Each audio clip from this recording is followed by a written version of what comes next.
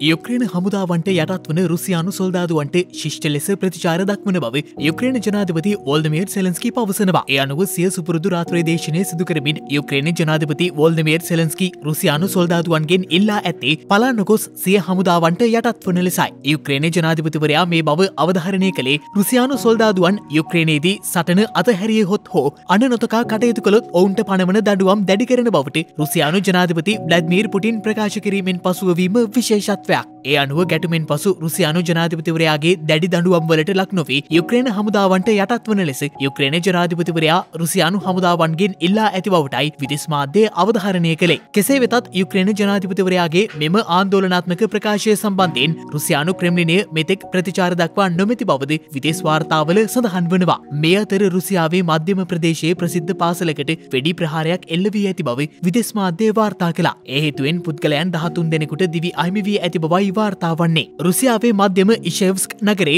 සිසුන් දහසක් පමණ සිටින පාසලක මෙම වෙඩි තැබීම සිදුව ඇති අතර මියගිය අය අතර කුඩා ළමුන් හත් දෙනෙකු සිටින බව විදෙස් වාර්තාවල සඳහන් වනවා. කෙසේ වෙතත් තුවක්කුකරුද සියදිවි නසාගෙන ඇති බවට වාර්තාවන අතරේ සැකකරු හැඳ සිටි ඇඳුමේ නාසී සංකේතයක් සටහන් කර ඇති බව විදෙස් මාධ්‍ය වැඩිදුරටත් වාර්තා කලා